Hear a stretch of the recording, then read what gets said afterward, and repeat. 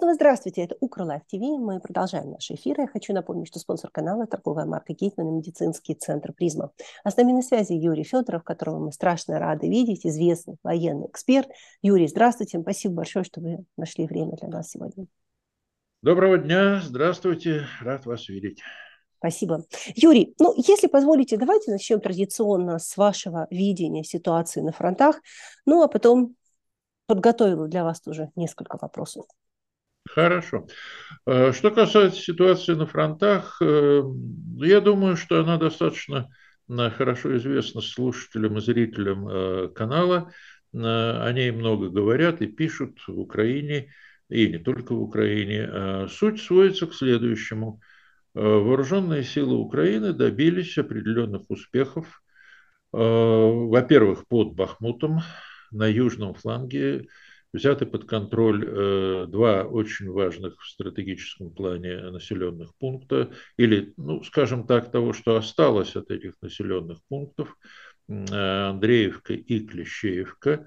Э, по всем картам, по всем э, сообщениям видно, что э, эти населенные пункты э, уже полностью под контролем э, вооруженных сил Украины. Это важно, э, потому что Андреевка контролирует в зоне Андреевки, как я понимаю, вооруженные силы Украины прошли через определенную линию обороны русских войск, пересек, сумев пересечь э, или пройти через железнодорожную линию. Линия эта, естественно, не использовалась, но она все, э, такие железнодорожные э, коммуникации, железнодорожные магистрали со всеми значит, насыпями и так далее очень удобны для организации обороны. И если вооруженные силы Украины прошли через железнодорожную линию, значит, они уже вышли на Э, на более широкое пространство, где можно уже, так сказать, более или менее э, успешно э, проводить целый ряд операций. Правда, ну, есть сведения о том, что русские выстроили или выстраивают еще фортификационные сооружения, оборонные сооружения вдоль шоссейной дороги, шоссе, которое идет из Бахмута в Горловку, это не самое э, такое крупное, не самое широкое шоссе, но тем не менее дорога с твердым покрытием, и э, она действительно удобна для обороны, поскольку, поскольку выполняет роль э, своего рода ракады или ракадной дороги, когда той дороги, которая выстраивается вдоль линии фронта или вдоль линии соприкосновения и, соответственно, позволяет Э, пере, э, перевозить войска, военное снаряжение, боеприпасы и так далее э, ну, вдоль этой линии, вдоль линии соприкосновения, соответственно, в любую точку, где они необходимы в, данный, в тот или иной конкретный момент. Так что, так что это, в общем, фактор, который нужно иметь в виду, но, тем не менее, взятие Андреевки – это действительно крупный успех вооруженных сил Украины. То же самое можно сказать по отношению к Клещеевке, хотя там э, значение этого пункта, немного, населенного пункта немножко другое.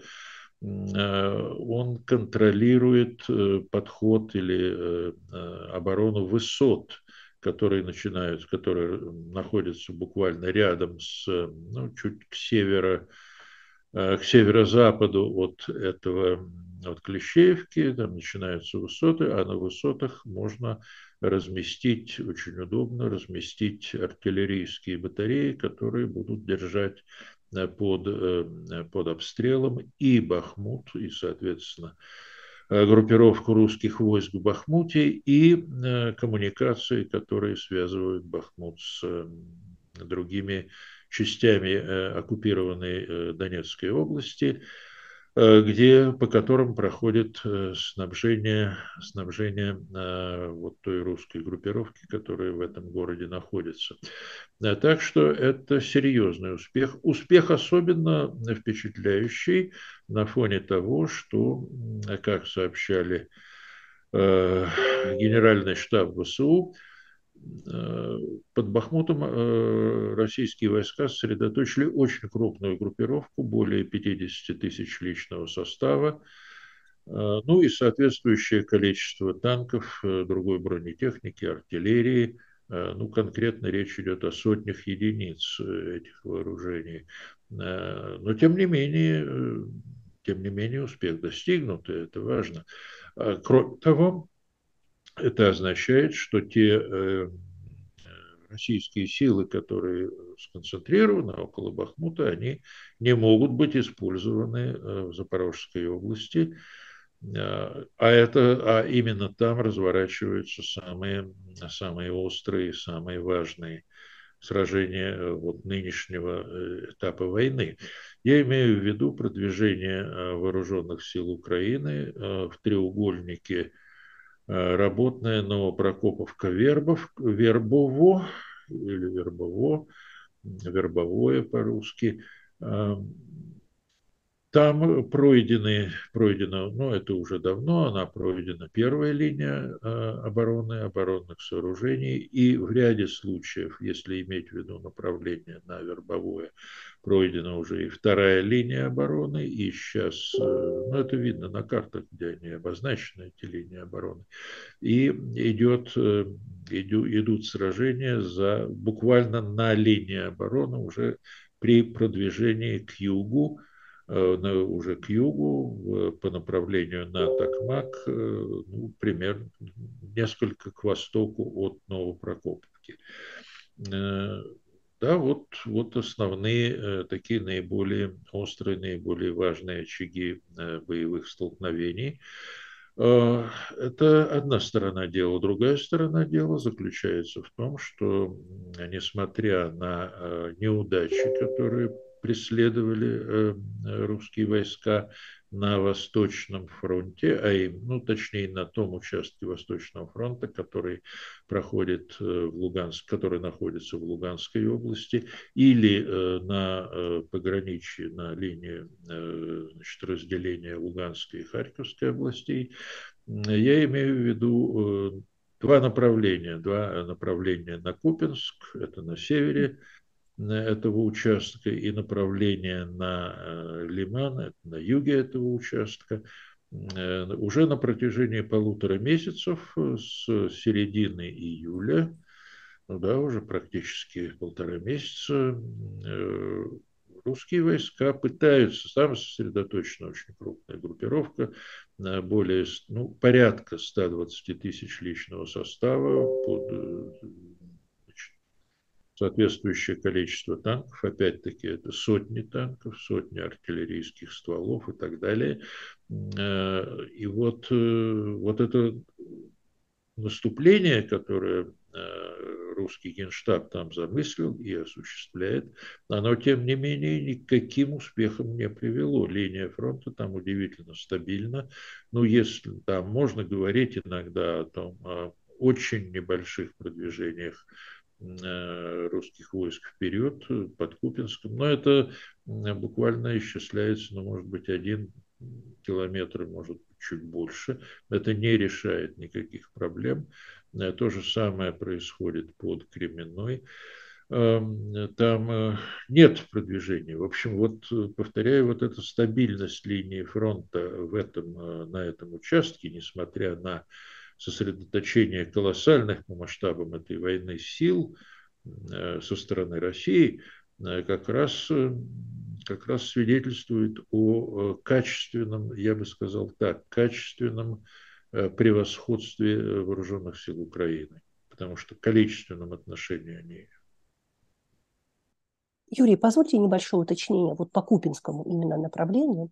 Как вам кажется, чего, по большому счету, хотела бы добиться здесь а, э, командование российских войск, какие у них, в принципе, могли бы быть планы, на что они могли бы рассчитывать и на что они рассчитывают наверняка, потому что, ну, действительно, вот вы тоже не раз говорили, что там больш, огромная армия сосредоточена. И какие есть перспективы, вот просто с точки зрения военного какого-то дела, что там, что там возможно, чего они могут добиться? Чего хочет добиться российский генеральный штаб, российское военное командование, честно говоря, я не знаю, потому что в другом месте живу и работаю. А, но по логике вещей, видите, скорее всего, там действуют все-таки политические факторы. А, то есть, ну, мы уже говорили, по-моему, и э, как минимум один раз, но, ну, думаю, нужно повторить.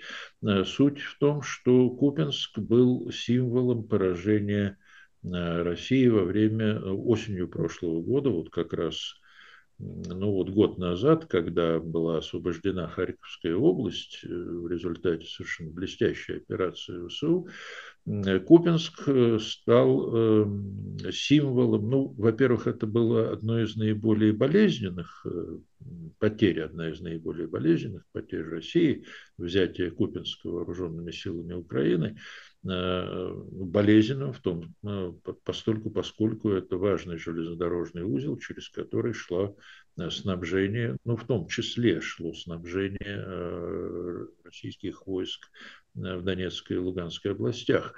Э, но помимо этого, это был, стал еще и вот, имеет символическое значение. Да, это символ поражения России. Соответственно, э, важно э, его нейтрализовать, важно взять его назад и сказать, да, тогда мы потерпели поражение, но вот сейчас мы взяли реванш, добились реванша. И это, ну, помимо пропагандистского значения для руководства, для командования российских войск э, и вообще российской армии, российских вооруженных сил, это еще и одно из один из э, инструментов, один из э, способов сохранения своих позиций в России, потому как все время идут, задают вопросы, и в том числе уже даже публично в телеграм-каналах, так называемые, Z-военкоры, турбопатриоты, они, в общем, э, не раз задают вопросы.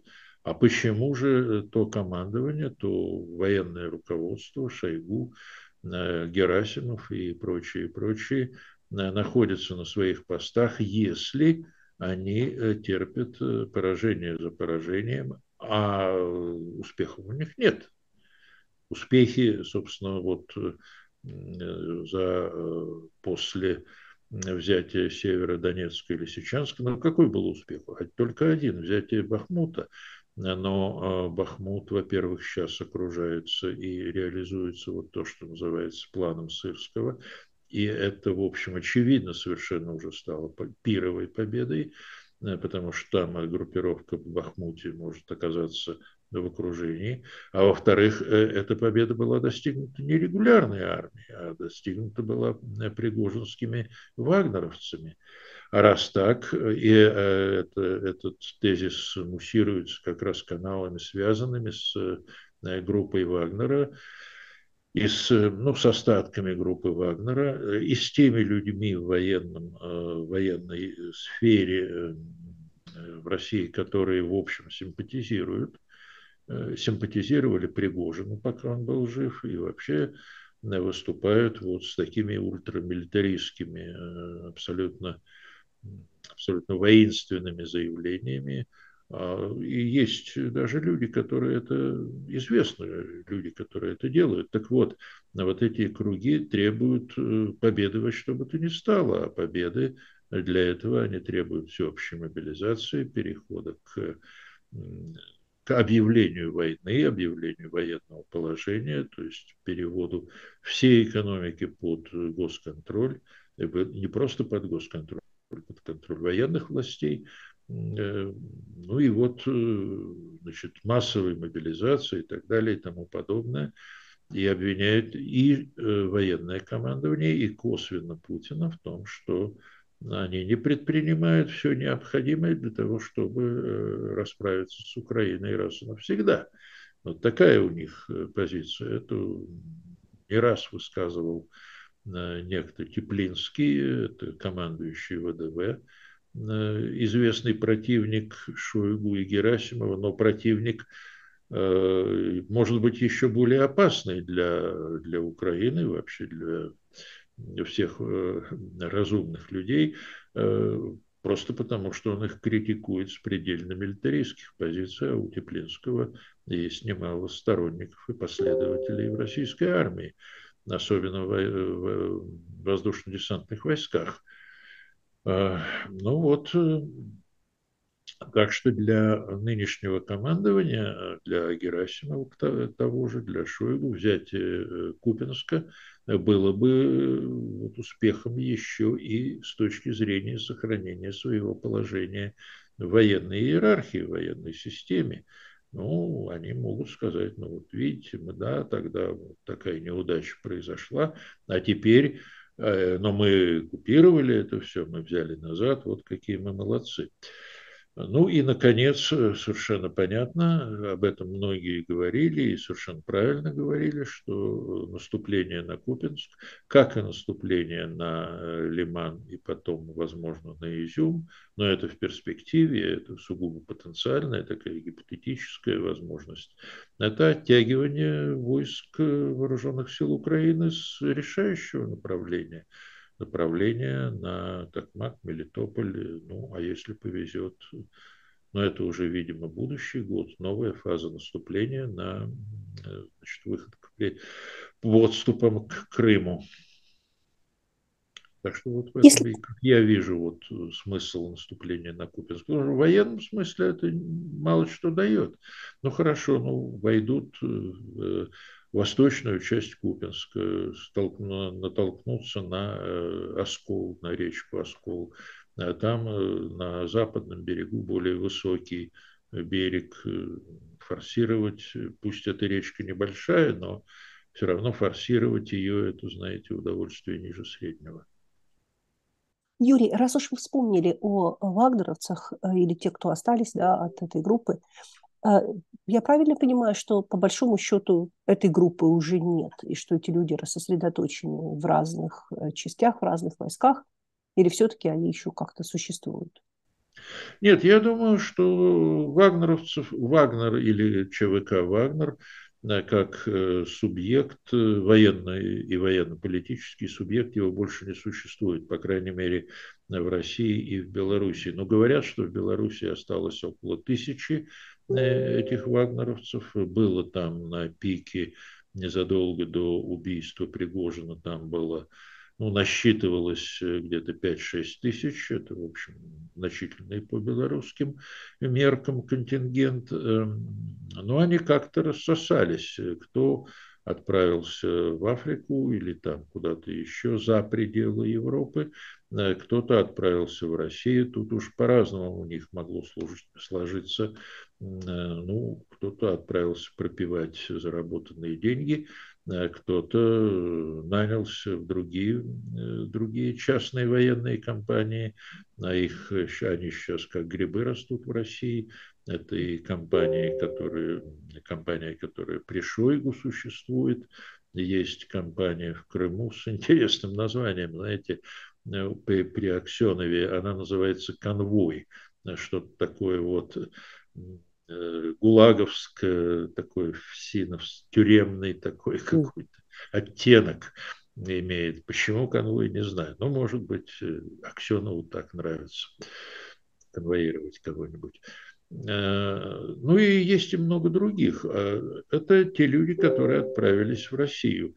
Но другие, значит, их отправляют еще, их вербуют и отправляют в Африку. А там складывается очень Э, сложная для России ситуация, потому что э, вот э, Мали, на севере Мали, там три, есть такой район, где сходятся границы трех государств, и все три, и две из, два из них это союзники России, это Мали и Буркина-Фасо, такие там совершенно пророссийские режимы, они выгоняют, э, стараются выгнать французские войска.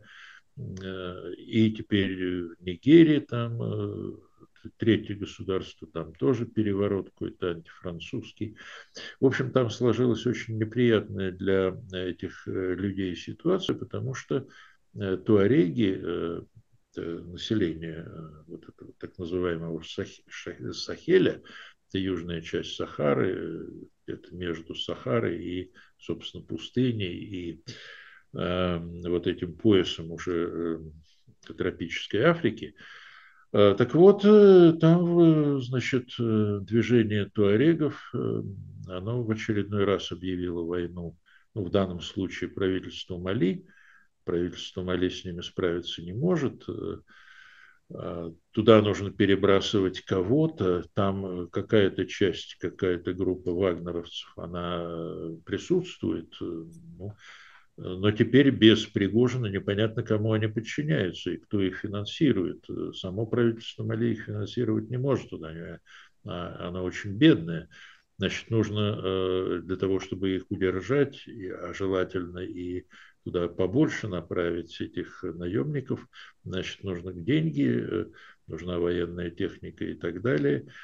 Э, так вот, в Мали сейчас, по-моему, еще, еще не вернулась в Москву очень большая делегация российская военных, и там, видимо, э, видимо, ФСБшников, в том числе там генерал Суровикин в ней был замечен, вот они как я понимаю, они, э, главная их идея, во-первых, поставить под контроль Москвы ту часть вагнеровцев, которая там уже есть, а во-вторых, э, договориться о том, как э, и каких наемников туда дальше перебросить. Видимо, прежде всего, вагнеровцев. Ну, они в основном все-таки имеют какой-то африканский опыт и, соответственно, наиболее пригодны для операций там.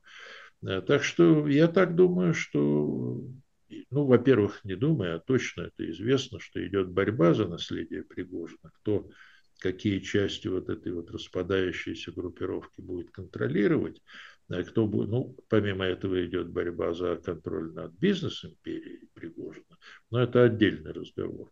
Э, я там мало что понимаю. А вот вагнеровцы, да, они, они нужны, нужны прежде всего в Африке.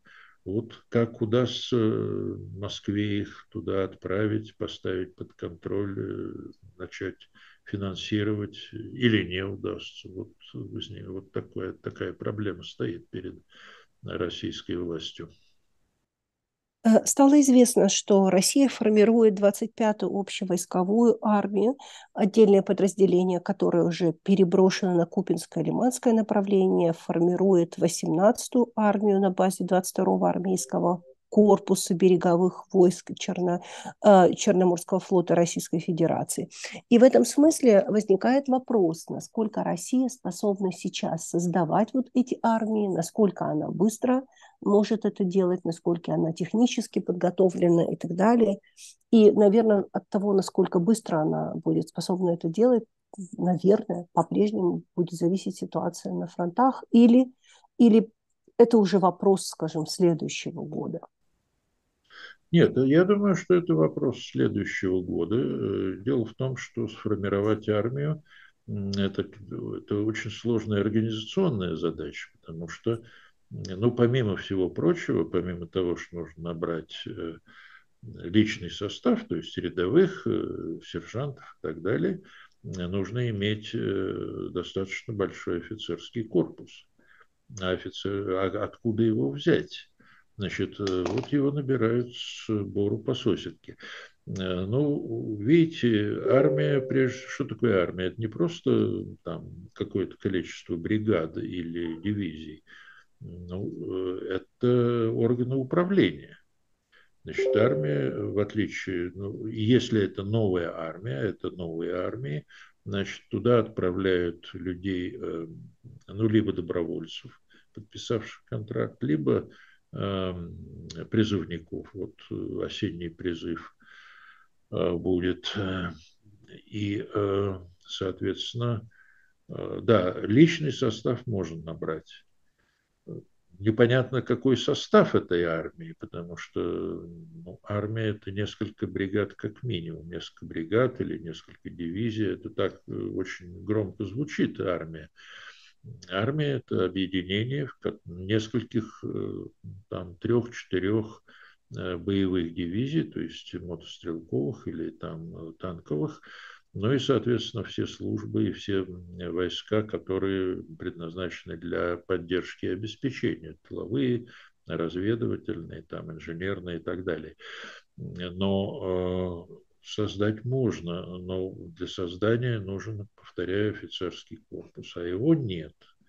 Ну вот где его взять? Значит, его можно либо готовить в военных училищах, либо набирать из офицеров запаса, которых призывают. Но многие из них вообще э, кончили просто военные кафедры, не имеют опыта военной службы реального.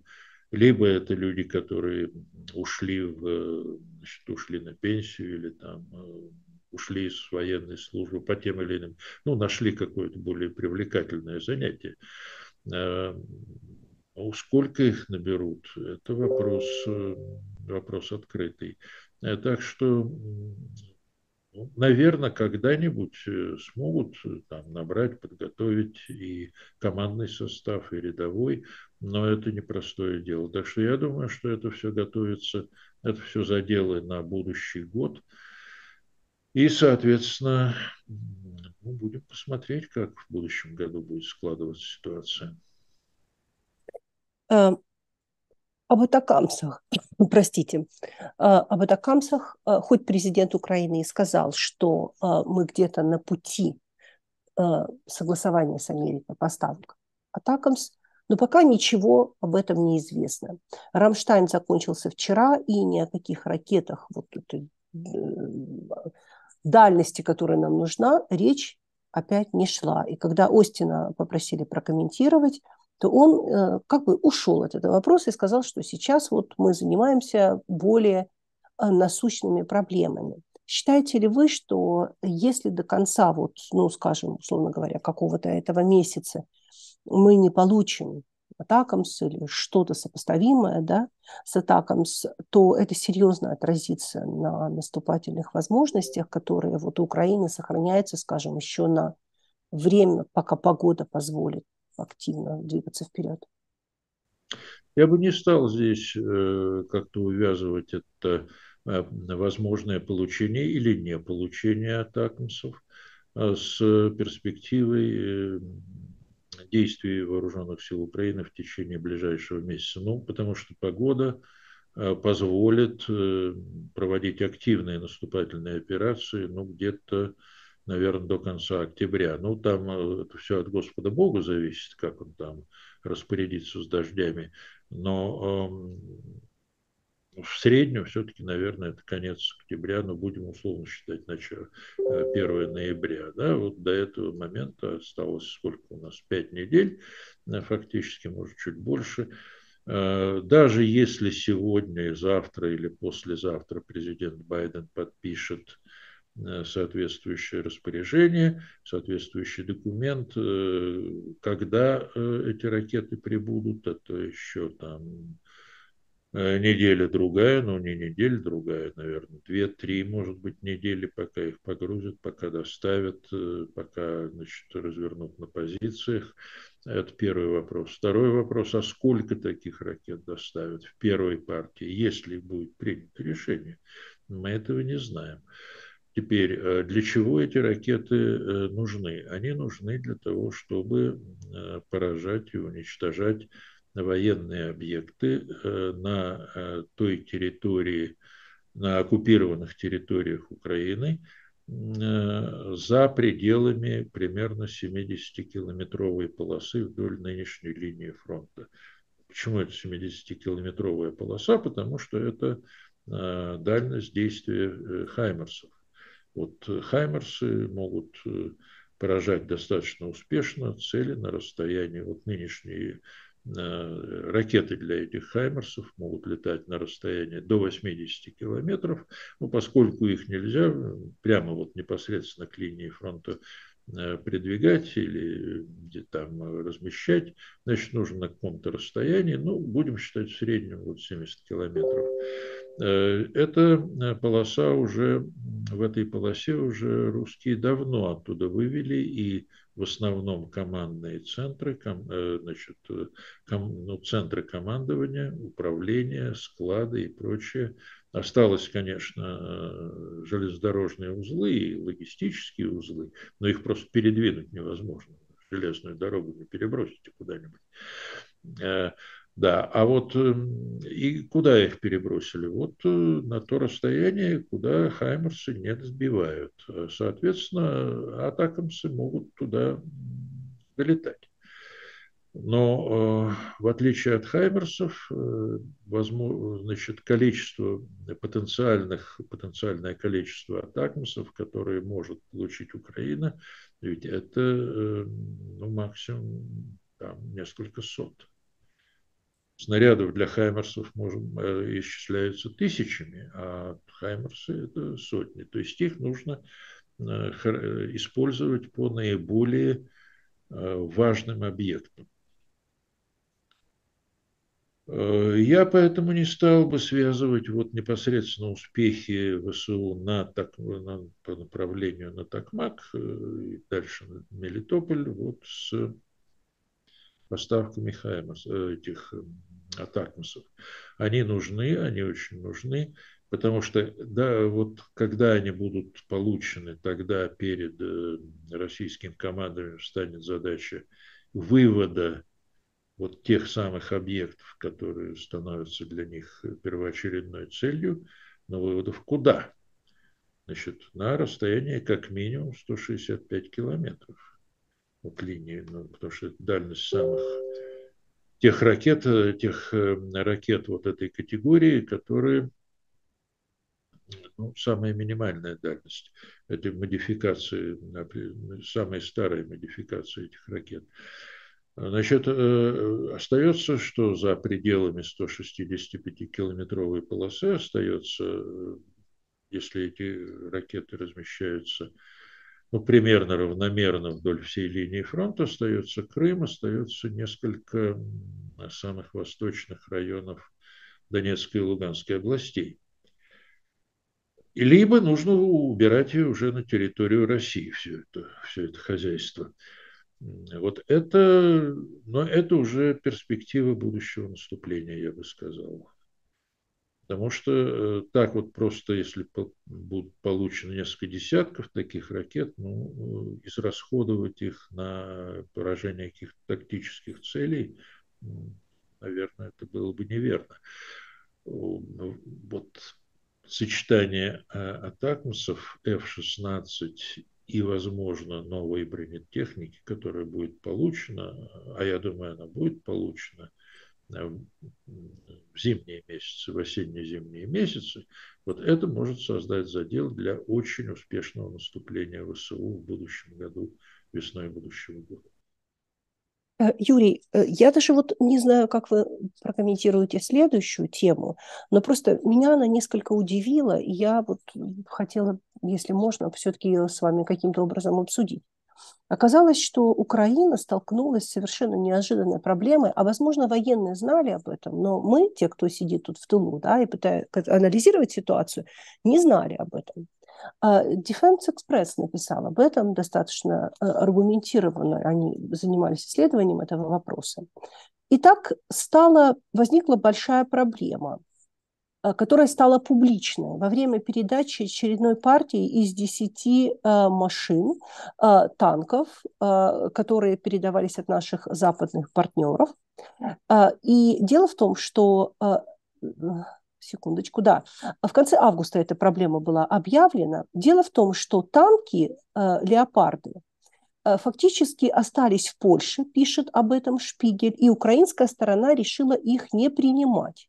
Причина – изношенность этих танков, потому что эти «Леопард-1» использовались для обучения, поэтому они требуют ремонта, но запасных частей, как и имеющихся специалистов, получается в Германии нет, а в Украине, получается, тем более. И аналогичные проблемы уже проявились с машинами, переданными ранее. И некоторые из них уже вышли из строя. А при этом об их использовании в боях а, неизвестно ничего.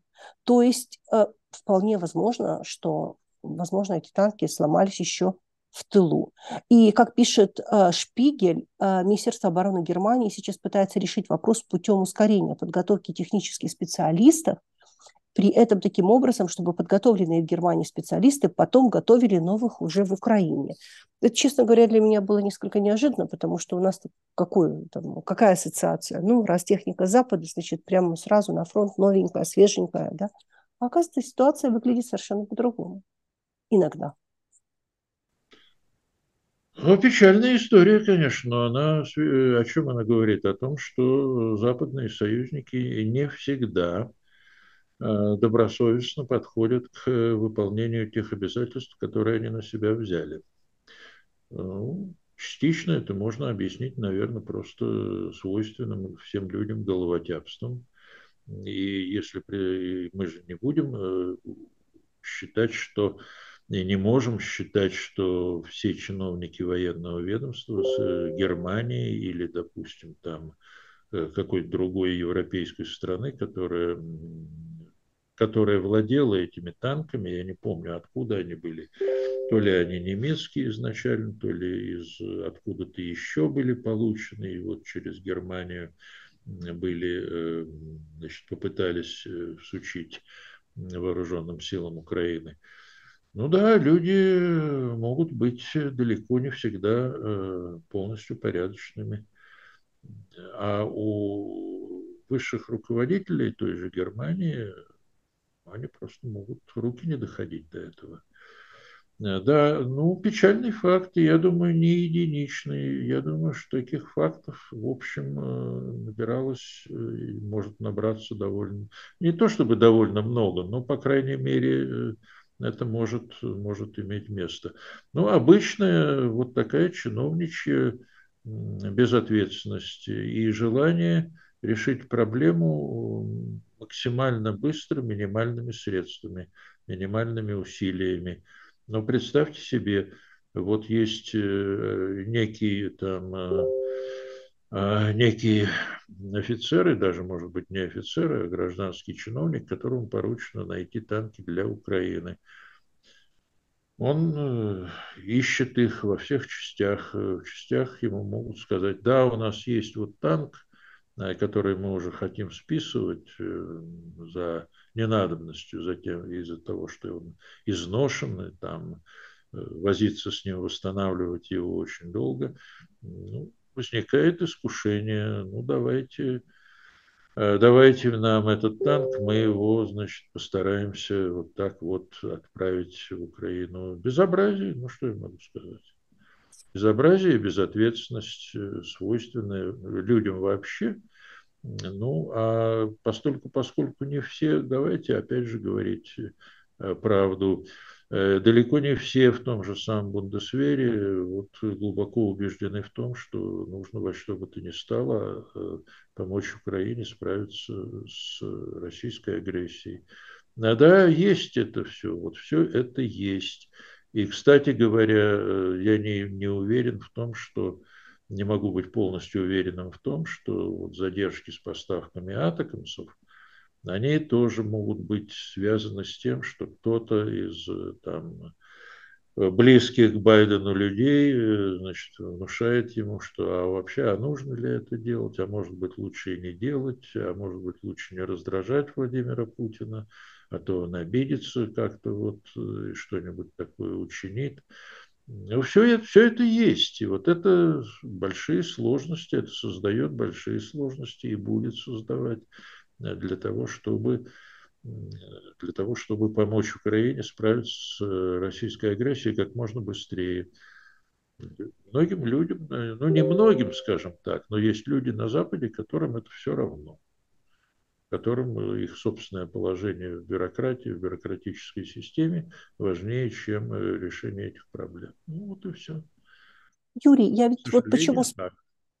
Я ведь вот почему спросила. Э, считаете ли вы, что если бы поставки оружия были другими, э, то результат вот этого этапа наступления, который сейчас продолжается, тоже был бы другим?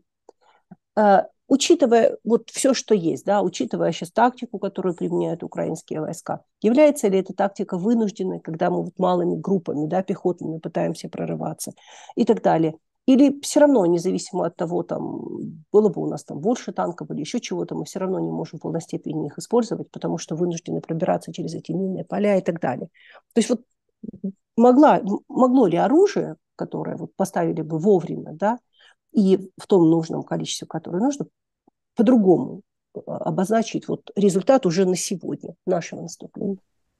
Да, конечно, могло бы, потому что еще э, в декабре прошлого года э, была опубликована, по-моему, в «Экономисте» принципиальное совершенно интервью э, Залужного, а до этого была опубликована статья Залужного и Забродского.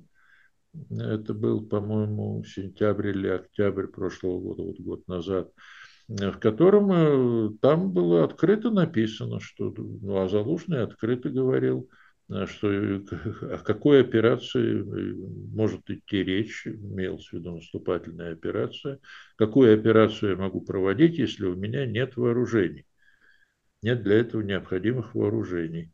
Вот одна операция, которую он, он там прямо назвал, что для одной операции, которая тогда готовилась, он сказал, сейчас готовится, о которой вы услышите, мне нужно там 300 танков и так далее. Вот это вот известные были цифры. Он э, получил 250 танков, из которых, э, ну, вполне возможно, далеко не все можно было сразу отправить на фронт. Вот, вот и ответ он, собственно, был. Если а Забродский с Залужным писали о том, что э, да, для успешных операций нам нужно иметь а, несколько группировок, несколько группировок по 10-20 э, бригад в каждой. Вот эти цифры очень хорошо э, тогда звучали. Что такое 10? Вот, брига, вот группировка, подготовленная э, весной этого года для наступления в Запорожской области, это как раз вот там 10 или 12 бригад. А Забродский и Залужный писали о том, что нужно несколько группировок по 10-20 бригад. Но эти группировки можно создать, личный состав есть, его можно научить. В Украине есть э, личный состав. Да? Но нет э, оружия, нет э, танков, бронемашин и так далее, которыми они могут воевать. Вот, вот и ответ на этот вопрос. Было бы больше, значит, было бы, были бы другие результаты.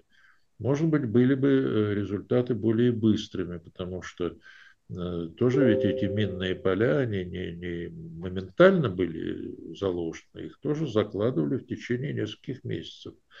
Значит, э, если бы наступление началось не в начале июня, а в начале, скажем, мая, когда там земля уже подсохла, значит, тогда прошли бы эти минные поля с меньшими потерями. А кроме танков нужны были, нужны еще и машины разминирования. Вот это вот, э, кстати говоря, ключев, один из ключевых вопросов. Оказалось, что машины разминирования не менее важны, чем танки. Потому что эти машины разминирования прокладывают э, проходы в минных полях. И тогда вот если этих машин было бы больше, Тогда и танков, танки могли бы быстрее пройти и с меньшими потерями, и не нужно было разбивать эти бригады на отдельные вот такие мини, минимальные группы по 10-12 человек в каждом, в каждой, которые ползком пробирались через минные поля и прокладывали эти проходы. Да, были у западных союзников возможности, были. Э, танков «Абрамс» э, на складском хранении в Соединенных Штатах насчитывается около двух тысяч. Ну вот, вот, вот ответ. Почему их не отдали? Это вопрос э, к Остину, к Байдену, там, ко всем тем людям, которые готовили и принимали решения. Ну и я так понимаю, что в любом случае вот активных наступательных действий, если опираться на погоду, остается времени не так много для активных наступательных действий. И можем ли мы тогда э, снова оказаться в ситуации, мы с вами тоже уже об этом говорили, что все так или иначе остановятся в какой-то момент, и Россия снова получит возможность перегруппироваться, снова перезаминировать минные поля, снова построить какие-то новые укрепления, или все-таки этот раз Украина не может себе позволить остановиться и будет идти уже независимо от всего, Ну, по крайней мере, мы не раз это слышали от президента, но непонятно, как одно дело воля, а другое дело там военные возможности и все прочие вещи, да. И вот вы там вспоминали дорогу на Горловку, кстати, да, я правильно понимаю, что если, например, погода плохая, то, в принципе, можно ну, воевать там, где дороги более-менее принятны или нет, или так это не работает, когда война. Нет, э, ну так, конечно, работает, э, потому что если Э, бои идут где-то в урбанизированной зоне, в зоне городской застройки, там действительно, ну, не вся, конечно, земля покрыта асфальтом, но дороги покрыты, дороги асфальтированы или забетонированы, я уж не знаю как. Значит, там распутиться она, в общем, ну, затрудняет, наверное, но минимально затрудняет движение войск и, соответственно, борьбу за за вот это вот городские поселения. Ну, посмотрите, весной э, шли, во время весенней распутицы шли ожесточенные бои за Бахмут. Да? И никакая распутица не мешала этим боям. И если э, боевые действия выходили за пределы уже городской черты, там, где плотность дорожной сети гораздо меньше, там, естественно, все это все гораздо сложнее. В городских условиях можно, можно воевать. Что касается движения к югу, вот из-под Орехова к югу, тут вопрос открытый. Ну да, и Зеленский, и, по-моему, и Буданов говорили о том, что вообще никакой вот этой осенней, э, осенней паузы быть не может. Ну, Трудно ведь э, сказать. Там как раз под, э, из-под Орехова вот движение на Токмак, там, там не так много дорог, как я понимаю. Там скорее ну, вот такая сельскохозяйственная местность, поля. И вот по полям, э, ну а по полям бронетехника ехать, едет, двигается с трудом, колесная техника вообще двигаться не может. Ну вот, вот и ответ. Не знаю. Другой вопрос, успеют ли э, русские воспользоваться этой возможной паузой для того, чтобы там э, нагородить опять все эти значит, траншеи, выкопать и нагородить все эти оборонные сооружения, минные поля заложить. Ну, может, ну, я не... все зависит от времени. Если это продлится пауза несколько месяцев, успеют. Если она продлится там, месяц-полтора, может быть, все это будет не так уж, не так уж страшно, и не такие уж э, мощные все эти заграждения можно устроить. Юрий, спасибо большое. Спасибо, что были сегодня с нами. Мы вам очень за это благодарны. Спасибо. Не за что. Спасибо вам. То, что... Юрий Федоров был сегодня с нами на связи, за что мы ему страшно признательны. И, конечно, благодарны вам, наши спонсоры на платформе Patreon. Оставайтесь с нами.